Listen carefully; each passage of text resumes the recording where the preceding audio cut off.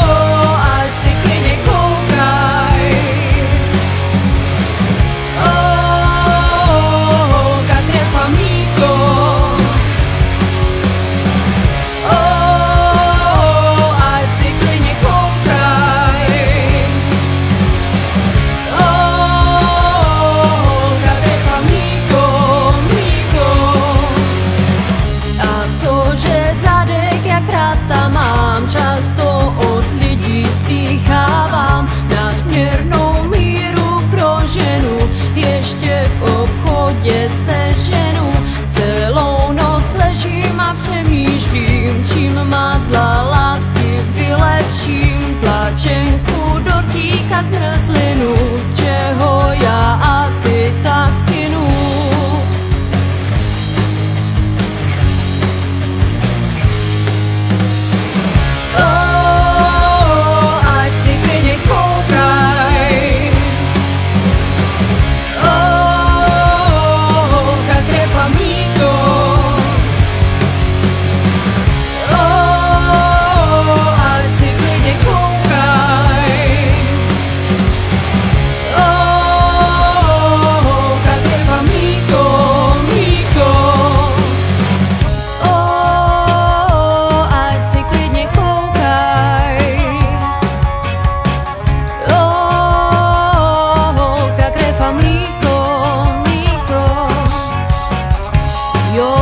maminka mi vždycky říkala, že velká prdel je základ rodiny.